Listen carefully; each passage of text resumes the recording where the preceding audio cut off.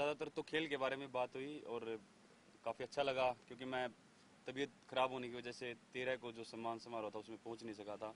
तो मेरे मन में काफ़ी था कि मैं, क्योंकि हरियाणा मेरा स्टेट है और मैं सबसे पहले कहीं भी जहाँ पे भी सम्मान हो रहा है, सबसे पहले मैं सोच रहा था कि हरियाणा में सबसे पहले जाऊँगा, सर से मिलूँगा। तो वही था कि तबीयत की वजह से थोड़ी दिक्कत आ रही है, लेकिन अभी तबीयत ठीक है जी।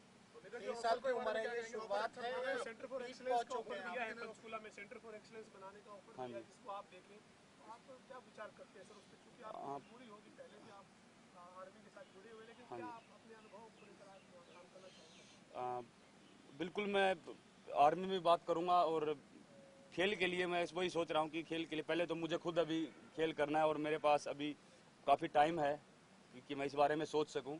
तो मैं बिल्कुल जो मुझे ये मिला है तो मैं अपनी तरफ़ से पूरा योगदान दूँगा कि मैं हरियाणा और इंडियन स्पोर्ट्स को ऊपर उठा सकूँ।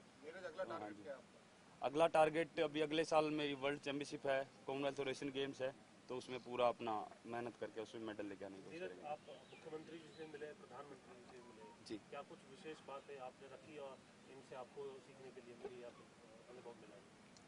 बस प्रधानमंत्री जी से भी वही खेल के बारे में बात हुई और बहुत अच्छा लगा कि उन्होंने एक एक एथलीट से और एक एक स्पोर्टिंग स्टाफ से बड़ा बहुत ज़्यादा टाइम दिया और सबसे बात की। सिर्फ़ मेडलिस्ट से नहीं जो वहाँ पे गए थे किसी कारण से अच्छा नहीं कर पाए उनको भी मोटिवेट किया।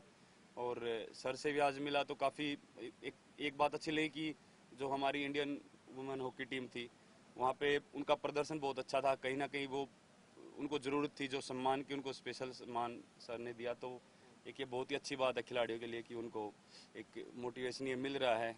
तो मुझे लगता है कि आने वाले टाइम में जो भी टूर्नामेंट्स या गेम्स होंगे तो उनमें उनका रिज़ल्ट और अच्छा होगा। चूरमा काफ़ी फ़ेमस कर दिया आपने। चूरमा हरियाणा हरियाणा का चूरमा तो फ़ेमस है जी। हरियाणा में तो है लेकिन अभी भारत में हो रहा है तो। हाँ जी।